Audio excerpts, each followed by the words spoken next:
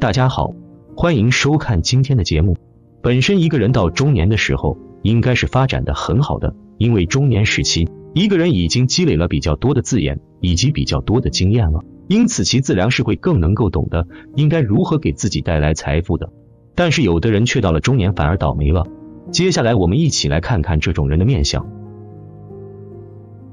一、眉毛粗硬异常，在相学中。若是一个人的眉毛长得粗硬异常，则这样的人性格非常的粗暴，做事非常的急功近利，肝火过盛，但是目光短浅，做事容易冲动，属于别人一惹就会闹的人。所以一般拥有这样面相的人，事业运势都会比较差，容易走极端，属于做什么都会倒霉的人。所以注定赚不了啥大钱，事业终究会失败，也没有啥大的成就，日子过得比较辛苦。二。鱼尾纹杂乱，在相学中，若是一个人的鱼尾纹处的纹路长得非常的杂乱，则这样的人天生就是操心的命，大事小事烦不完，钱赚的少，整日没有清闲的时候。而且这样的人在事业上很难有大的出息，把过多的时间都浪费在小事情上面了。而鱼尾纹向下耷拉的比较明显，为不吉之象，中晚年的运势比较低迷，若是行商破产的几率也会比较大。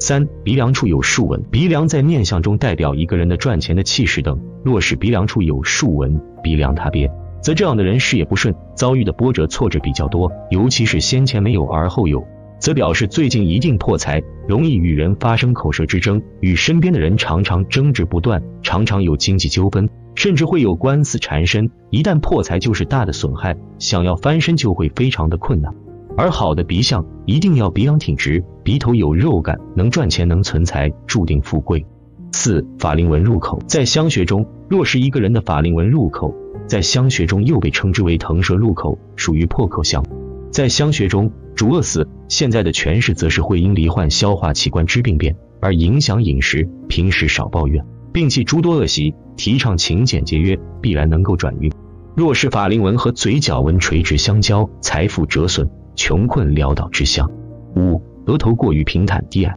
额头代表着一个人的早年运势，也可以看出一个人的聪明才智。如果一个人的额头部位过于平坦或低矮的话，这种人大多智力有限，心胸不够宽广，考虑问题只看眼前，目光非常的短浅，而且出身不好，从小家庭环境就比较差，无法从父母处获得太大的助力，凡事都只能靠自己努力，而且贵人运也比较差，缺少贵人赏识和体贴。年轻时事业上总是磨难重重。六下巴部位过于尖锐，想学中将下巴又称为地格，代表着一个人的晚年运、工作运和蓄财能力。如果一个人的下巴长得过于尖瘦的话，这种人大多非常的自我主义，眼里只有自己，很少会为他人考虑，想法很多，但是却不会付诸行动，事业上难有太大的作为，而且老年时容易体弱多病，无亲无靠，也没有什么积蓄，家庭生活不够幸福。七鼻翼先薄，鼻孔外露。鼻子在相学中代表着一个人的财运，鼻翼代表着财库大小，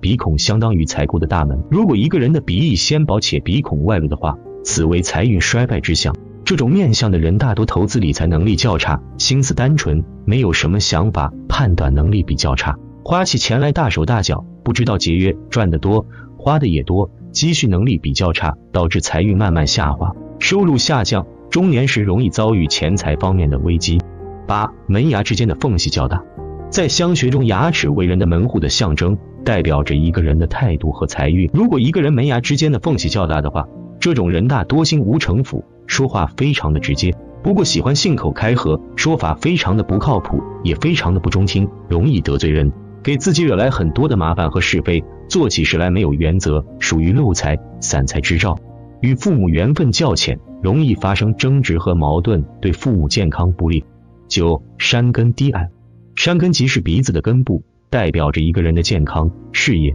财运和人际关系。如果一个人的山根部位过于低陷内凹的话，这种人大多性格方面较为内敛和沉闷，性格方面比较的矛盾，自卑心较重，做事缺乏活力和热情，也不太善于沟通和交际，人际关系比较差。而且六亲缘分浅薄，遇到困难时身边缺少贵人相助，导致收入下降，事业不稳定，容易有中年危机，日子过得一团糟。十肩门坑洼，肩门在相学中国即是眼角后方靠近太阳穴的部位，也称夫妻宫，代表着一个人对待感情的态度和感情运。如果一个人的肩门部位低凹不平的话，则代表着感情运非常的不稳定，不论男女，容易与爱人发生矛盾和纠纷，感情上易有第三者的插足，婚姻情感方面非常的不稳定。所以相书中也有着肩门低陷，常做新郎的说法，婚姻不顺利，容易离婚多婚。十一，颧骨过于平坦，颧骨在相学中也称权力之骨，代表着一个人的欲望、野心和领导力。如果一个人的颧骨部位长得过于平坦的话，则无视。这种人大多性格非常内敛，整个人缺乏士气，给人一种非常懦弱之感，而且缺乏主见和魄力，做事总是犹豫不决，不会表达自己的想法，喜欢抱怨，而且意志力不弱，做事缺乏坚持，遇到点困难就想放弃，能力一般，在事业方面也是缺乏运气和机遇，想要成功非常的难。十二，双耳缺少耳垂，耳的在相学中代表着一个人的智力不济和寿命长短。如果一个人的双耳短小，没有明显的耳垂的话，这种人大多喜欢幻想，想法非常的不切合实际，喜欢沉浸在自己的设想中，对现实总是漠不关心，消极应对，做事缺乏理性，喜欢感情用事，非常的任性，做起事来缺乏规划性，平时喜欢铺张浪费，也没有迫切想要挣钱和理财的概念，金钱运不好，漏财较多。十三，眼睛昏沉，从眼睛中可以看出一个人的精气神与财气等。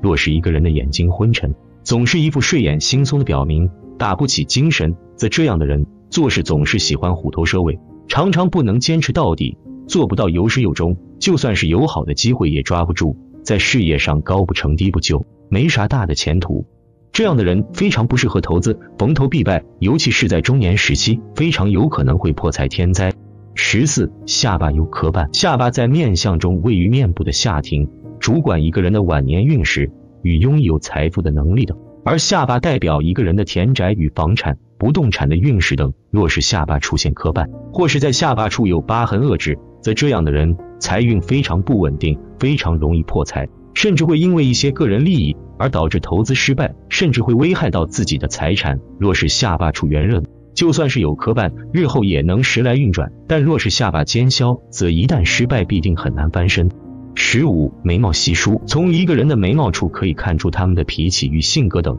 若是眉毛长得杂乱，看起来就像是没有眉毛一样，则往往大多数的情况下，这样的人脾气性格比较粗暴，容易会为了一点的小事情就与人发生各种争执与矛盾，人际关系处理不好，甚至还会平白无故的增加麻烦。常常会招惹小人上门，各种的霉运不断，日子过得非常不顺利。估计到最后，连自己的亲人也会全部都得罪光。十六，双眼无神。若是一个人的双眼无神，整个眼睛没有精气神，浑浊无光，看起来就像是没有睡醒一样，则往往这样的人呢，本事不大，能力不强，无论是做什么样的事情，都会是三天打鱼两天晒网。注定干不成大事，估计闹到最后只会赚取基本的生活费，干啥都就是给别人打工的命。所以这样的人命里无财，也没有啥大的本事，只会到最后越过越穷，最终是奔波一生，赚的都是辛苦钱。一北斗眉，富贵长寿。北斗眉的重要特征便是眉形宽厚而长，眉头圆润下垂，眉色黝黑富有光泽，眉尾长得整齐而略向下探。眉毛也称保寿宫，常有这种眉毛的人大多性格温厚，富有文采，特别的适合从事一些文职工作，一生运势顺畅，富贵而长寿。二，狮子眉，中晚年发达。所谓的狮子眉，指的是眉头齐整，眉毛的中心部位略微弯曲，而且眉形粗浓，眉毛尾部长得圆润而下探，整个眉形长得长而疏松。常有这种眉毛的人，大多内心比较的正直，性格也比较的直率，做事光明磊落，人缘较好。属于长寿之相，尤其是中晚年时容易发达。三，春心眉，婚姻不顺。春心眉的重要特征便是眉身细长，眉头和眉尾皆向下弯曲，整个眉毛看上去如柳条一般。常有这种眉形的人，大多内心较为的贪婪，对待感情方面也比较的花心和多情，缺乏专一，总是三心二意，喜欢在外面沾花惹草，一生也难有太大的出息，婚姻很难顺利。四，罗汉眉，晚年孤独。罗汉眉，光听名字便可以知道其特征。这种眉毛的眉身较为短宽，眉形粗浓，眉尾下垂。这种眉形的人不仅看上去比较粗犷，内心也非常的凶悍。眉毛也称兄弟宫，代表着一个人与兄弟姐妹之间的关系。这种眉形的人个性较为的好强，容易与人产生争斗，兄弟关系也不够和睦，一生较为的坎坷，晚年孤苦。五戴剑眉，观送是非。所谓的戴剑眉，指的是眉头较为散乱，冲向印堂，也称眉头戴剑。常有这种眉形的人，大多个性不佳，脾气不好，性格非常的冲动，容易发怒，经常容易与他人发生口角和争执，使得兄弟关系也比较紧张，与父母的缘分也比较浅，让父母操心不断，容易惹上官司，严重者甚至会有牢狱之灾。六杂乱眉，贫穷困苦。杂乱眉的特征较为明显，整个眉毛看上去杂乱而硬直，如针一般，此为六害眉之一。常有这种眉毛的人，大多内心非常的阴险，特别喜欢算计，做事狠辣无情，不留余地，容易给自己招来很多的祸端，一生贫穷而困苦。七一字眉，文武双全，一字眉更容易辨认，此种眉毛的眉头和眉尾看上去整齐而清秀，看上去就像一字一般。常有这种眉形的人，一般兄弟缘较好，兄弟关系也比较的和睦，头脑机智，很有头脑，做起事来也非常的果断和正直，而且能文能武，富贵双全。八螺旋眉，兄弟反目。所谓的螺旋眉，指的是眉尾处有螺旋状，这种眉形的人大多与兄弟姐妹之间的关系比较糟糕，甚至还会反目成仇，与朋友之间的关系也容易发生矛盾，人际关系比较的紧张，因此身边小人较多。容易遭到别人的陷害，在事业方面也缺少贵人的相助，一生多灾多难。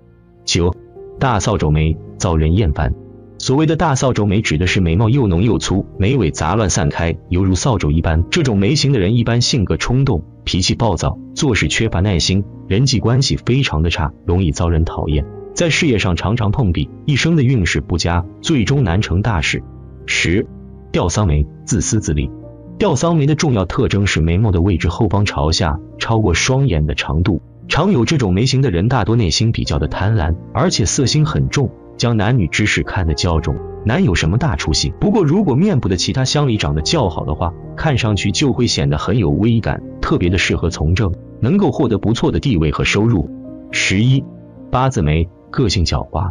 八字眉的特征比较明显，整个眉毛的眉头部位上吊，而眉尾部分平直向下。或者是眉尾分叉散开成八字状，因此称为八字眉。这种眉形的人一般心胸宽阔，很有度量，而且有胆有识，做起事来也比较的努力，往往能够取得不错的成就。不过这种人大多比较狡猾，为人处事方面缺乏真诚，几乎没有什么朋友，尽量还是远离为佳。十二，交连眉，奔波劳碌。所谓的交加眉，指的是眉毛的尾部分叉明显，上下之间处于空白状态，或者是两眉相连，侵入印堂。常有这种眉相的人，大多缺乏理性，考虑问题比较的极端，做事总是犹豫不决，缺乏魄力，而且耳根子比较软，容易听信谗言，没有什么主见，最终也难有什么作为，一生劳苦奔波。俗语难看鼻子，女看嘴，一生富贵少是非，是啥意思？长见识了。爱因斯坦曾说，一个人的价值不在于他的外貌。侯凤宇也说，心灵美比外貌美更美丽。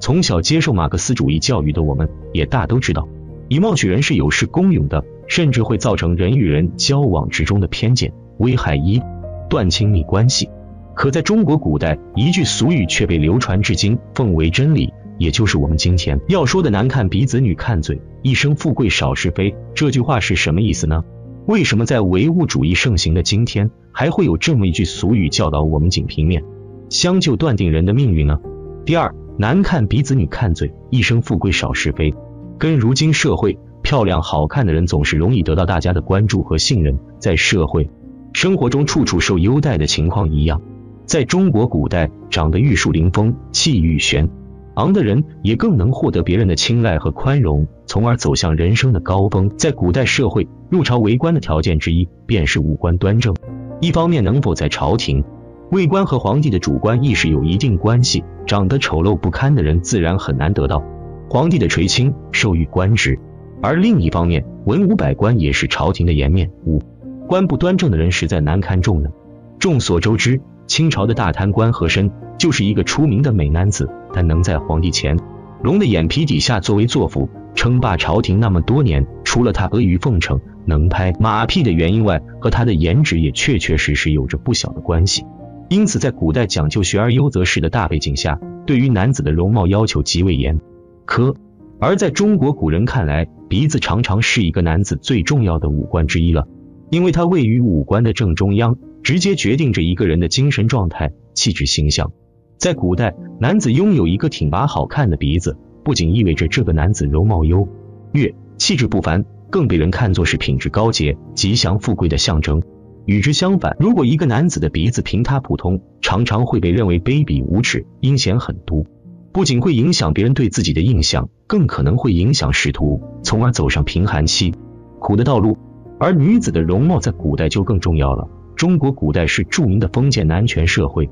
女性大都依附自己的丈夫生活。对于女子而言，不需要外出工作，也不需要抛头露面，只需要安安分分处理好家庭分内之事，和谐不习关系就行了。因此，对于女生而言，长得不好，就算能力出众，也很难能嫁得出去。就算能成功出阁，去了丈夫家里，也很可能会被丈夫歧视嫌弃。在大男子。主义的旧社会，男人们自然不愿意自己的老婆长得不尽人意，因此长相不好的女生被嫌弃，甚至被休，从此凄苦过日的例子实在不算少。著名的就有钟无艳的事迹，虽然能力出众，却也难得皇帝真心。在中国古代，一般讲究女子要皮肤白皙，鼻子小巧，眼睛黑白分明，顾盼有神。假如能有一张樱桃小嘴，就再好不过了。嘴巴小，不仅意味着女孩子样貌可爱。也代表着这个女子不会去随意嚼别人舌根。在我们现在看来，那种天天八卦、无所事事的妇女也相